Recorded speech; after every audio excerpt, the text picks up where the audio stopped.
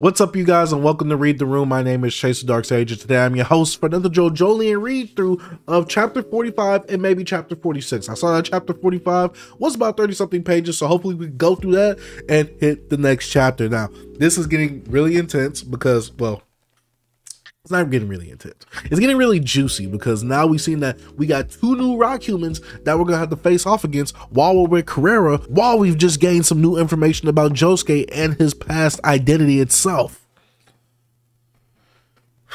If you're not hyped to read this chapter, I don't know what to tell you, man. But this is Love Love Deluxe Part 3, and hopefully we can finish it off with Part 4 itself. Now, before we actually get into the read through, make sure you join the Patreon, lowest tiers dollar. You can see these pages weeks ahead of time and unblurred. And make sure you hit the subscribe button and like the video to help support your boy on the channel. But without further ado i'm hyped to see what's about to happen in this next part of love love deluxe. So let's go ahead and get into it Chapter 45, Love Love Deluxe, Part 3. Okay, and now we see some guy reading a magazine. Oh, and one of the rock humans, I'm assuming, is knocking on the window and he's just slurping his drink. Oh, it's a taxi driver. Knock, knock, knock. Shut up. Can't you see I'm on break? Uh oh, this is not a good idea. All right, have you given this woman a ride or seen her around anywhere? All right, so now they're holding up a picture. Of, wait, whoa, look at the way that he's using his hand to make an image of Karera. Whoa, okay, this is weird. No, I can't say I have. All right, now he's looking around and now he sees the two guys. But I bet he's like, how did they how did they do that thing with their hand? the atmosphere's kind of changed, hasn't it? I did some shopping and it's really heavy. Hi, hi, hi, hi, hi. All right, Josuke's looking. Earlier, did you ask me to give you some money for a place to stay tonight? But studying is more important, right? Maybe I shouldn't sing this loud late at night. I just heard a bird just making a random noise right outside my window. It's very creepy and it's late at night. Hey, let me not do that again.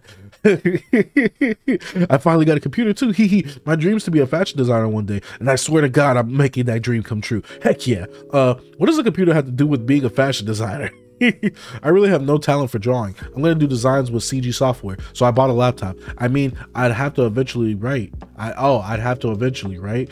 So I just bought it. Done. All charged up. Yamada-san. Yamada-san. Ah, I'm carrying all this stuff. So let's go get a ride. Taxi. Where are we going? To your place, Seichan. My place. but first, to Building 258. 258? Huh? All right. Now she's looking at him. Wait, is he like a rock human disguise? Okay. Hey, um, I heard that. Did you just go hmm at me? Hey, Mr. Driver, are you trying to make that sound like you were talking to yourself? Does that uh mean don't make me drive to someplace that close by in Japanese? All right, so now he's just staring. Don't just ignore me, dang it! Say it to my face, you chicken ish. Oh my god, she's bipolar. Hey, stop! Screw you! I've got your name memorized. Munayuki-san, right? It's over for you, Bucko. I'm gonna report you. I've got a pen, ish head. I I've got cameras on you, you know. Get, get out of this taxi. Oh man. Oh, hey, he said something about cameras. Oh man, looks like he finally said it. The bad word. Okay. What are we gonna do if your cameras are capturing this stuff going on back here? All right. Oh, what is she using her hair for? Hee hee. You really did it. You were the one who closed the door, Mr. Driver. But don't worry, I'll keep quiet. A girl's hair is her life, but I'll be real nice and let you off the hook. Oh, so she secretly put her hair into the door, made it seem like he closed her hair into the door. All right, this is very interesting. She is a con artist. she cannot be trusted. Karera, well, she seems like she has a good heart so far, but when it comes to getting money or getting over on other people outside of Josuke, she can't be trusted. Karera-chan, just who exactly are you? Woohoo! What are you trying to do? All right. Mm. Like I said, Seichan, I'm going to your house. That's where I want to go. All right. Glance, you know where my house is? I saw I was crashing before, didn't I? And it's Kira's house, right? Let's go. Kira. Morio Building 258. I see. Kira's condo is down this road. Karera had that photo with Kira and me in the same shot. Didn't you hear Karera-chan? Yoshikage Kira died. Oh. Okay, this is about to get interesting because did she not know? All right. So now it looks like she's turning around. Looks like she's chattering. I'm not sure. Oh yeah, she's chattering. All right, cool. Oh, she just grasped her teeth. Huh? How'd he die? You you don't think he was murdered, do you? What? Oh, all right. So now she's exhaling. Uh, uh. Right, she's hiding. Look, looks like things were so simple. It's been ha- it's been half a year since the earthquake, so I thought things had cooled down, but I had it all wrong. Oh no, she's terrified. She's scared. What is she scared of? Oh, this is oh, this is getting oh, this is getting more juicy. This situation is moving in an even more dangerous direction. Dang it! Hey, could you tell me how Kira died? Uh, you just asked if he was killed. I heard you. Why do you think that? That's why I'd like to know. You seem pretty afraid right now. What makes you feel that way? I can't go to that condo anymore. Just tell me, how did Kira die? Oh, okay. Kira was buried in the ground near the Lone Pine, the place everybody calls the Wall Eyes. And this is the truth. He wasn't murdered. It might have been an accident in the earthquake, or it might have been after that. There weren't any external wounds, and his body was dried out when we when he found when he was found dead. I was buried under the ground as well. I survived. All right, now she's looking. I lost my memory, though my body seems to have undergone equivalent exchange. Mm, okay, okay. We already knew this, but he's explained it to her. Could you tell me what happened? Who am I? There was a Rococa tree, just one. Ooh, okay. So Kira knew about the Rococa. Okay, I'm sure Kira had a single tree hidden in a flower pot. I saw Kira hiding it in his kitchen. Huh? The conversation suddenly took a turn. I can't tell what Karera was talking about. Rococa. Okay. Oh, he doesn't know that's the fruit. Oh yeah, that's good. Rococa tree. Is Karera talking about that fruit's tree? He's hiding a tree? Could she have just said what that fruit is called? All right. He disposed of the other trees. I saw that Kira was hiding just one of the Rococa trees because Kira has a sick mom, you see. Karera knows about the fruits. She's talking about them now. So it's those fruits she's after. All right. Where is it now? Oh, okay, okay. Do you know Seichan? I mean, you changed your appearance, right? You disguised yourself so it'd be easier to hide from everybody. Oh, okay. So now we get a little view of Josuke in Yoshikage Kira's apartment. Okay, this is interesting. Me, she's saying that the reason I'm wearing this sort of outfit is because I know where the fruit tree is. Is that what she's saying? Seichan, where's the Rococa fruit right now? Ooh, okay. Oh, there goes the rock human right there. Hi. No, he's not slick though. All right, this is about to be very interesting right now. All right, so now the rock human is coming up. Josuke is looking. Oh, oh okay. Now he's just in plain sight right now. Karera-chan, is that someone you know? All right. So now Karera hit right behind Josuke. Now the guy is coming up. Well, Who are you? Josuke's looking. Oh. Oh yeah, I forgot there was two of them. But I, I I kind of expected that someone the other one was around near, obviously, because these two don't seem very inseparable like that. So let's see where this goes. And we get to see Josuke's birthmark as usual. Let's keep going though. All right. Ink. oh, you know, it's weird how we got that little standard briefing in the last read through, and it was like, oh, if he used gas, he could transport the gas or whatever. That's literally what he's doing right now. I thought that was a bit too specific and too on the nose for that little explanation right there, but let's go ahead and keep going. Oh, this is very interesting because how is he going to use this gas? Because it looks like it's just turning into skin rather than gas itself.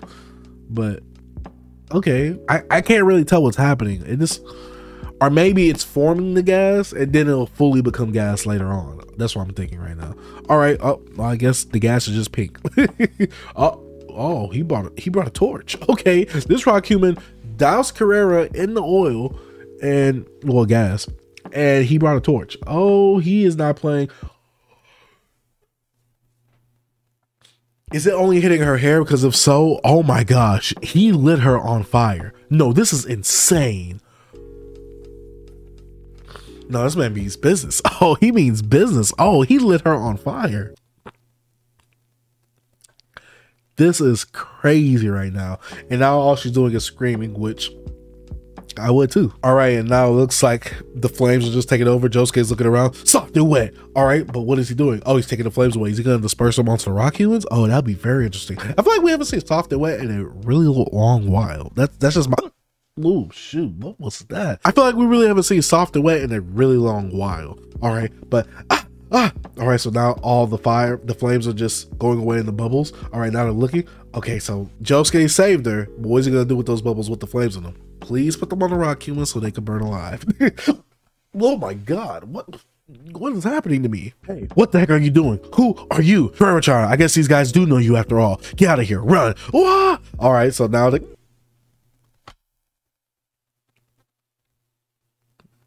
Jesus. These niggas are taking over. What I don't know what's happening right now. All right, so it looks like they're doing some type of hand to hand combat, which looks very weird for JoJo fashion. But then,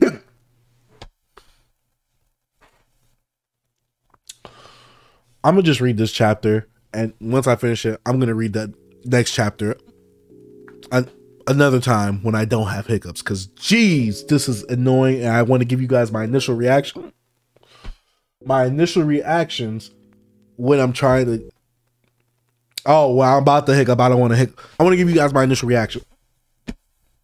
Okay, I'm, I'm getting tired. All right, so like I said before, it looks like they're doing some type of weird hand-to-hand combat. Josuke just whoppa right in that guy's face. This is very interesting. Okay, let's keep going though. Oh wait, did he put a bubble right in his mouth? Oh, okay, okay. Let's see where this goes because he just popped a bubble in this rock human's mouth. All right, and now he's bleeding. Let's see where this goes. All right, so Josuke is now looking at the soccer ball, but what does that soccer ball actually have inside of it? Because this rock human kicked it and it went right up to this little pole and it's coming down. Are we gonna uncover the mystery that's in here? Is there a Rokuka tree in there? What's happening with the soccer ball? All right, so now they're basically double teaming Josuke right here, and I like the way that this rock human uses his ability to kind of touch something and he transport whatever he touches to actually becoming on his hands or whatever his hand actually becomes. All right, so now he's still choking out Josuke while taking the actual wiring from the fence and now he's using it, but you can see it slowly getting smaller, smaller, and smaller. But obviously he's not going to run out anytime soon because he has a whole fence to use at his disposal. And now he's choking out Josuke, which is looking very, very painful right now. This is this is looking like barbed wire kind of getting hit on Josuke, but right now he's just suffocating the mess out of Josuke, which I really don't like to see my boy Josuke in this type of situation right here, but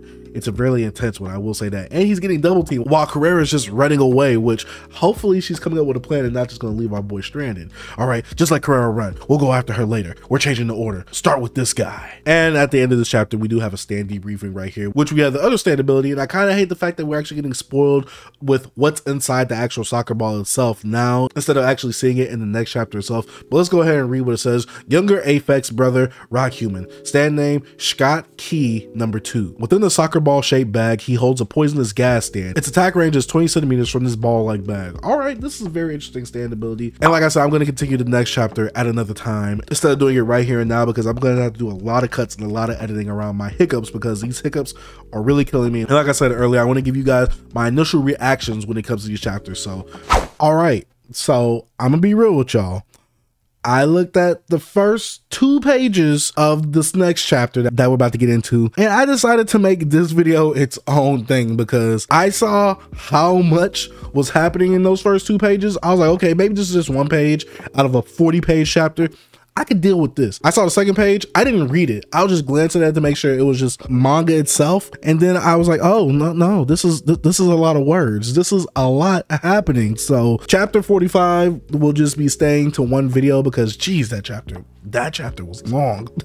But obviously you can see that well the hiccups are gone and it's the same night itself. And um, i'm glad that they're gone but it didn't give me a good reading experience. So i'm definitely gonna have to read this chapter over. But basically the fight has started between the rock humans and karera versus josuke. Josuke obviously took the fire that karera was set on since the rock humans they are savages. They literally took the gas from a car and said yeah let me go ahead and just light her on fire real quick that is insane. I mean, I already had a little vendetta against her for whatever reasons, but to see her just be lit on fire like that, I'm just like, okay, where are we going at with this Araki? Because this is Ooh, this is brutal. But obviously, with Josuke being there, he was able to remove it with the soap bubbles itself. And the way that Araki has this creative use of this rock human ability of them being able to touch something, or at least this rock human specifically, he's able to touch something and transport it to wherever he's using it, but it'd be kind of part of his body at that moment right there. He was just suffocating Josuke, and Karera was running away.